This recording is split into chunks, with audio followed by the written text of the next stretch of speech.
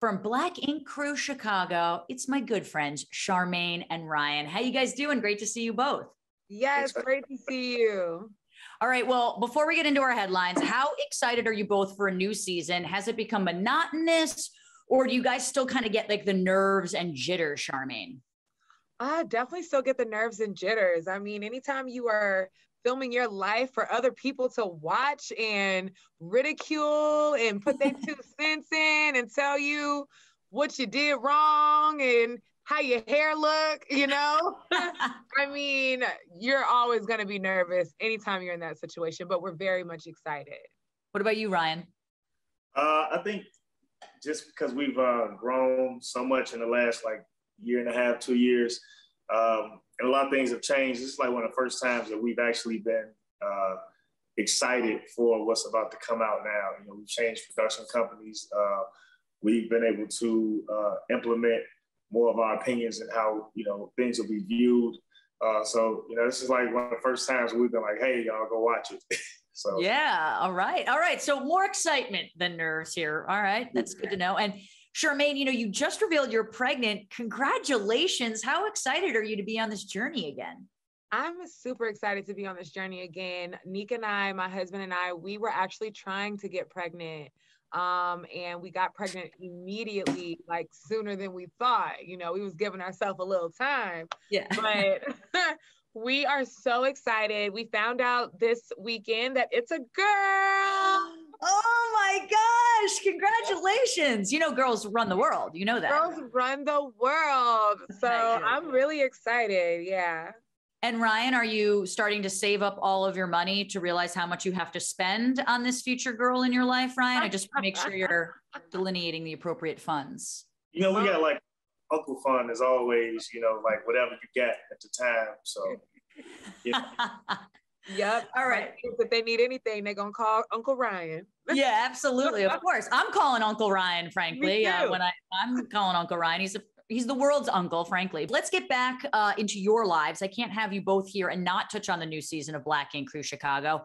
Last season, we left off in the midst of shutdown, obviously. Stephen and Jess had to get back to the UK. Charmaine, you just had given birth, and the future of the shop was sort of at stake here. How are the things for both of you now, Ryan? How are we heading into this? Um, I feel like that was the beginning of uh, how you saw things uh, starting to shut down and things that you have to do. So you're going to see like what we went through. Uh, we talk about the things that we went through during the shutdowns, opening back up, and then how our lives are going to move forward now uh, from going through those things. Because a lot of things happened in those times. You know, uh, some some losses, some you know, discomforts of regular life. And uh, these are the results of it. And you'll see how we come out of it um, either clean or dirty. so. Well, Charmaine, what about you? I mean, how are you sort of heading into this season compared to how you were last season? Uh, last season, I would say, even though I had a tattoo shop and I had this business, I wasn't very business minded. Um, you know, I lost my mother, I was pregnant, and those are definitely at the forefront of my mind, not necessarily the tattoo shop.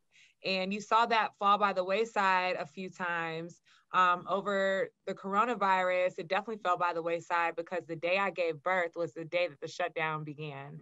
So I definitely was not concerned about the tattoo shop. I was just focused on my baby girl.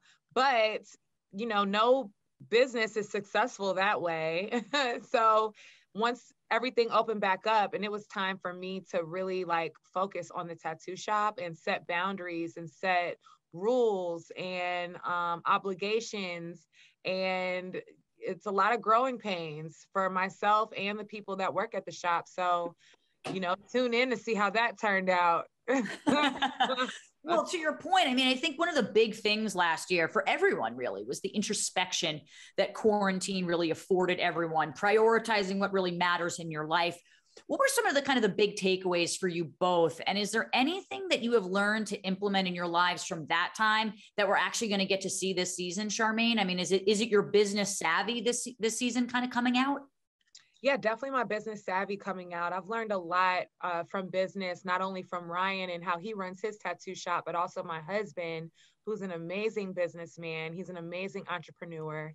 And um, he has really just kind of paved the way for our family of being a, a black a black owned business family um, so we have a couple of businesses that are extremely successful. Uh, one is called bay moss uh, some of our greatest influencers are ryan and lizzo um, bia you know everyone dame dash. But taking what he did with Bay Moss and just understanding, like I see how my husband is working around the clock as a owner, you don't get time off, you know, as an owner, no matter what you're going through in life, you have to continue to run the business or the business is going to fail.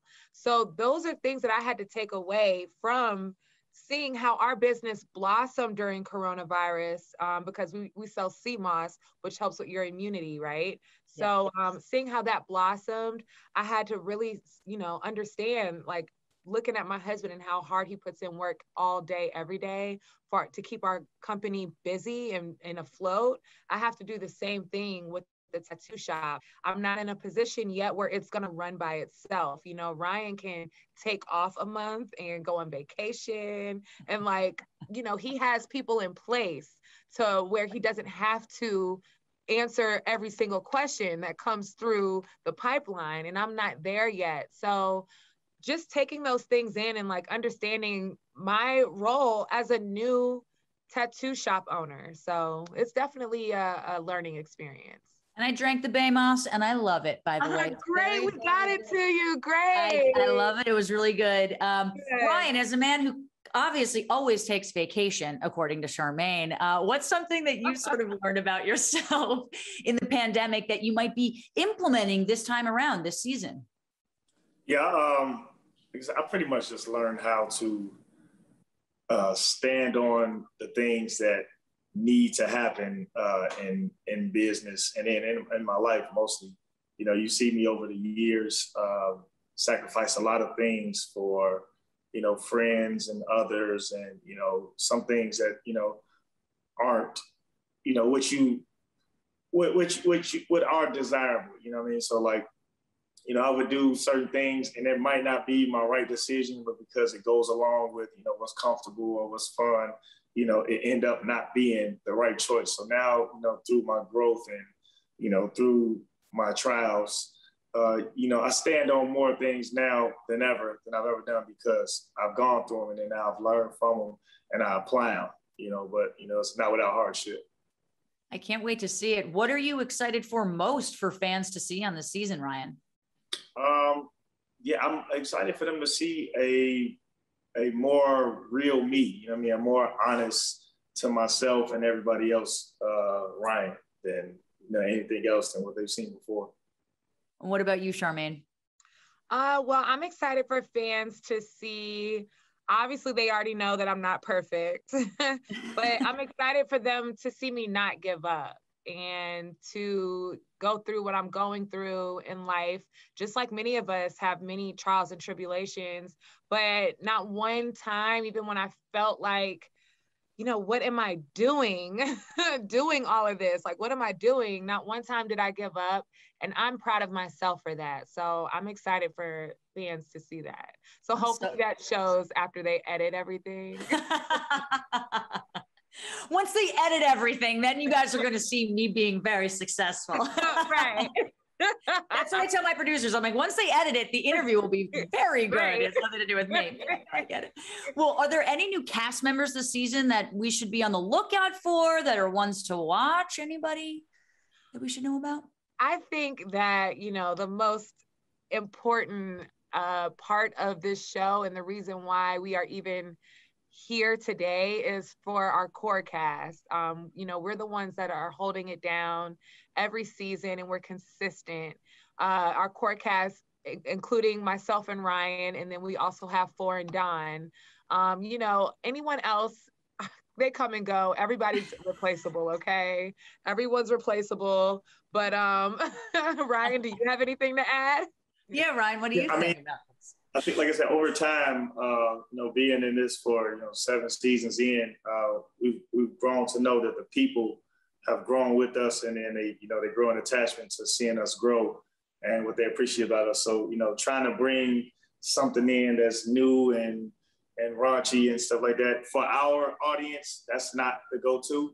You know, I think they are uh, more in tune with seeing us grow and you know us stick together as much as we can. We lost some people along the way, you know, as we've grown, and everybody doesn't stay together as you grow. So to have uh, us still being here, you know, uh, for Don, Charmaine, and myself, and then you know seeing us grow individually, you know, like I think that's that's what'll be one of the best things to look out Phor. You know what I mean? Because that's where the comfort level is, that's where the attachment is, and that's where the admiration and respect is.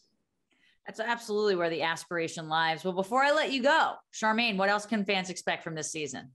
This season, you can expect so many things. Obviously, conflict. Um, you can expect to laugh with us. You can expect to cry with us. Um, you can expect to take sides at times you know let us know when we did we ain't do it right or commend us when you feel like we did do it right um, you can expect to see ryan and i have a different type of relationship this season than we've ever had and even uh, growing our relationship and it's very genuine so when i say all of that guys we're not like sleeping together or nothing I mean like a different type of relationship. Just tune in and you'll see what I mean, okay? A deeper relationship. All right, yeah, take.